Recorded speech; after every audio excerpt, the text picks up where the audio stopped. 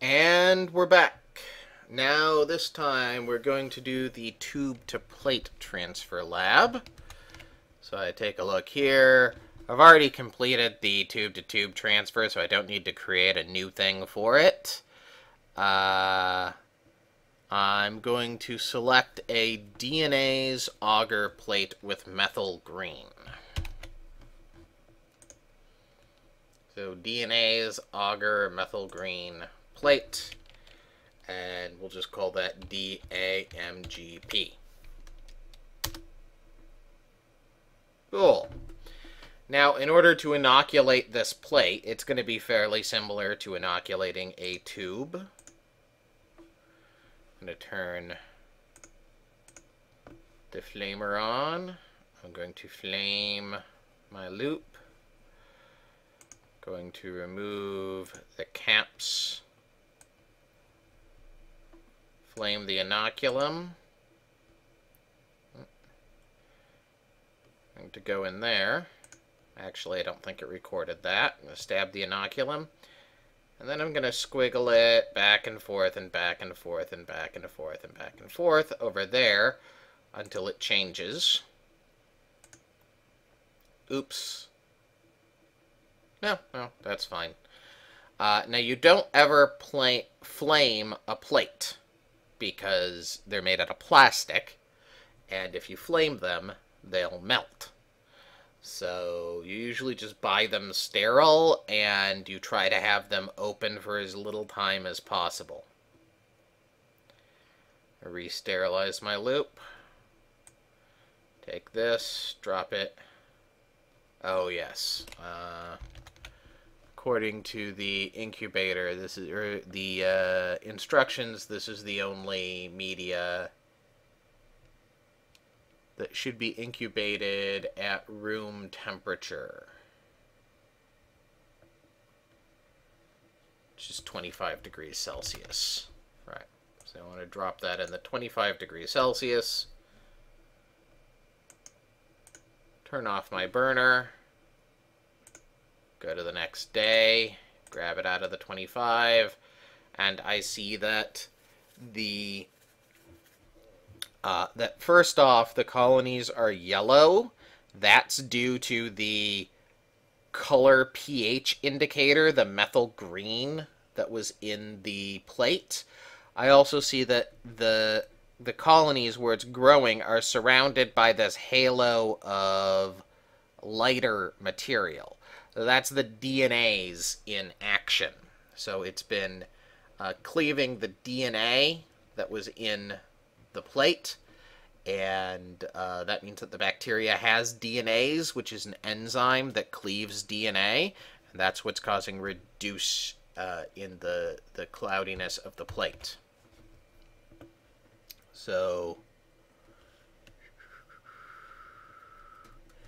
So is it possible for there to be bacteria in the plate, but the DNA tests DNase test to be negative? Yeah, if you're growing bacteria that are DNase negative, then there would be plenty of DNA on the plate that wouldn't get cleaved. But we're going to record some results here.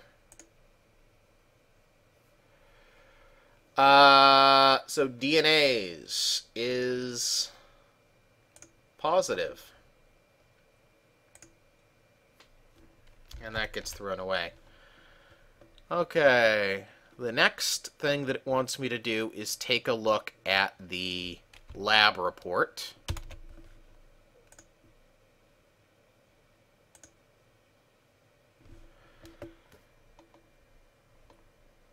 Let's take a look here. So my gram reaction eliminated 71. The acid from glucose eliminated 3. The mannitol fermentation eliminated 21. Sorbitol fermentation eliminated 1. The urea hydrolysis eliminated 16. And the DNase eliminated 7. So I have 5 microbes, which it could still possibly be. Uh, once you get it down to like basically single digits of possible microbes, it's not a bad idea to take a look at your identification matrix and see what test you should do next.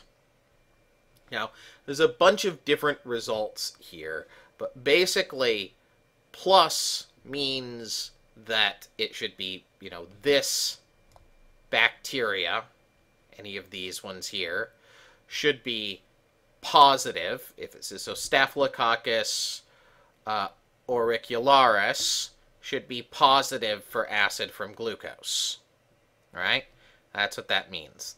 If you see a negative sign, so uh, Macrococcus caseolyticus should be negative for alpha hemolysis, right here. The positive and the negative are what you want to pay attention to.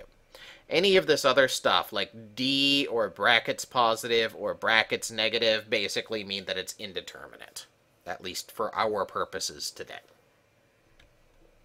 So it asks me, based on the information in the portion of the table displayed above, would acid from glucose and arginine dihydrolase be useful tests to perform now for identifying your unknown. Uh, so, wood acid from glucose. I already did that one. Uh, that was a test that we did last time, so it wouldn't be a useful test for me to perform now, because I already did it. Uh, what about the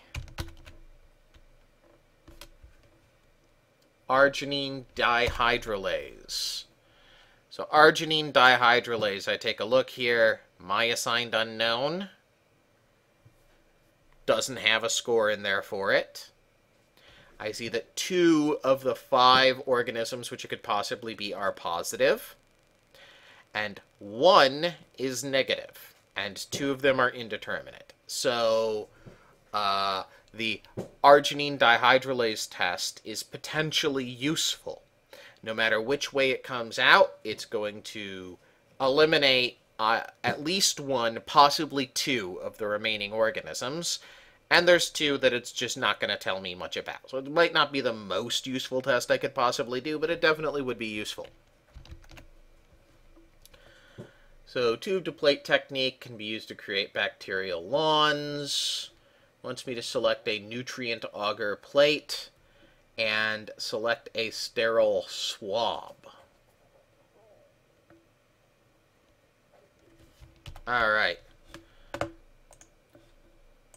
So for the medium, we're going to do a nutrient agar plate. Call that NA. This is like one of the most general growing media. If you just want to grow bacteria, nutrient agar is usually the thing to use. It's not going to tell you anything about it, but it'll grow the bacteria just great. I'm going to turn the burner on. We want to select a swab. Swab is for transferring lots of bacteria from one thing to another. We don't sterilize the swab because it's made out of cotton. If you stick it in a Bunsen burner, it'll light up in flames. However, we still need the Bunsen burner because we're still going to want to flame our inoculum. Now I'm going to take my swab and dip it in here. And then I'm going to move it back and forth and back and forth and back and forth and back and forth all over this thing. Alright? I'm going to take this. I can flame it again. I guess I don't really have to because it's not my sample, but if I ever uh, want to use it again, so let's see here. The... I should have looked this up beforehand. Am I doing a bacitracin? Yeah, two units. Bacitracin, two units. Boom. And now replace the caps. So what this thing that it dropped in here is, is a, uh, it's an antibiotic called bacitracin.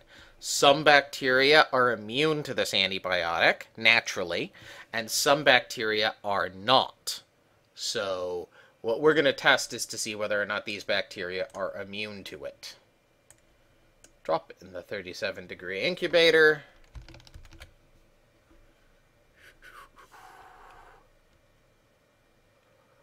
And one day forward. Grab our plate. And you see how around the antibiotic there's this empty area. that means that the bacteria won't go near the antibiotic because this antibiotic is a poison to them. That this bacteria is vulnerable to bacitracin.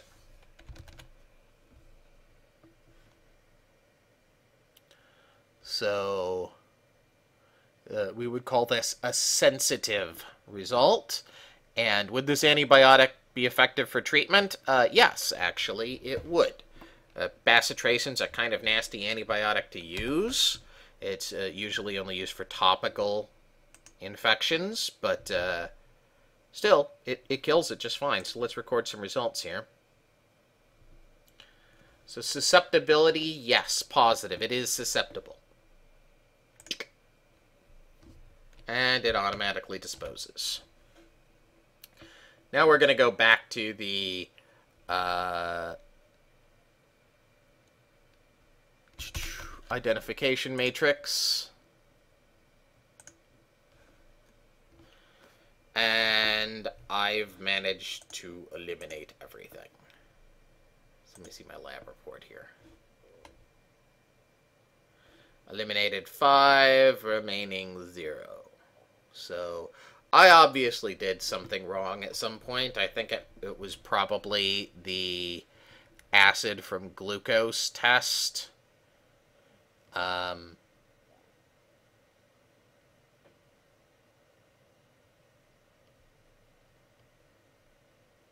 which I probably recorded as positive, but should have recorded as negative because I wasn't paying a lot of attention. I was still figuring out the software. Either way, I think that we have gone through and know how to use the software now.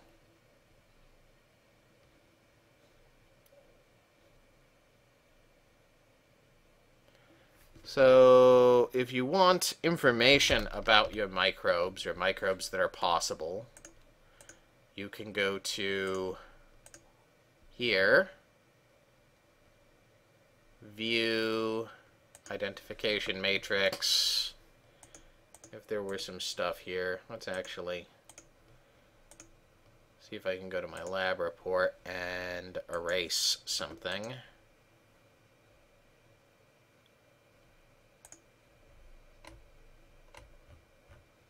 Not really.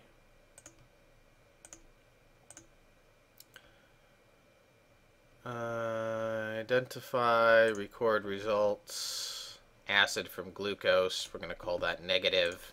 Why not?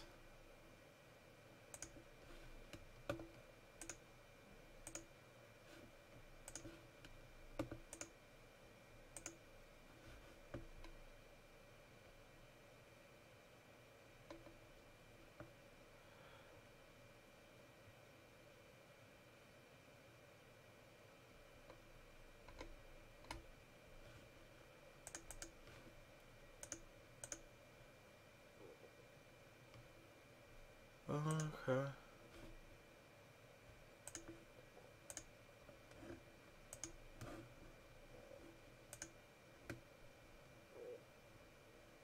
Alright.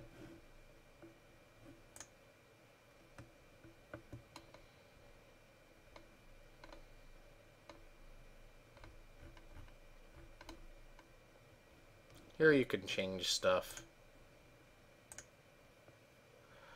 Alright, well, I'm almost out of time on my recording software, so as you can see, it's a complicated bit of software.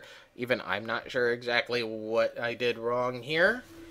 Uh, but I think we got the gist of exactly how to go about recording results and streaking media and plates. So, uh, I will hopefully see you guys again soon, or you'll see me again soon, or hear from me again soon, or whatever, however that goes.